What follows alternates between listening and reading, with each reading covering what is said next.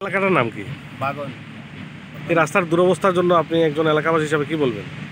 এইখানে তো আমরা নেতা সবই জানে এটা রাস্তা মানে পুরা ফুর্তি অব্দি পুরা রাস্তা এরকম ভাঙ্গা ডেলি দুর্ঘটনা স্কুল আছে কয়েকটা। স্কুলেও বাচ্চা যাওয়া করতে পারে না। আর অ্যাক্সিডেন্ট ডেইলি আট দশটা গাড়ি ভাসে গাড়ি ধাক্কা দিয়ে উঠানি হয়।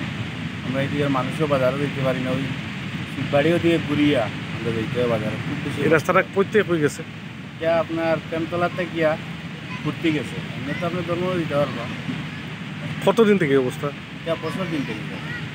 আপনারা এখন এলাকাবাসী হিসাবে কি দাবি রাখেন? আমরা চাই যে সরকারের কাছে যে এটা আমরা খুবই কষ্ট স্কুল কয়েকটার বাচ্চা যেতে পারেন না এটা মেরামত করার লাগি মানে খুবই যে কষ্ট আমরা এলাকায় আছি স্থানীয় নেতৃত্বদের বা যারা দপ্তরের আধিকারিক তারা জানাইছিলেন আপনারা?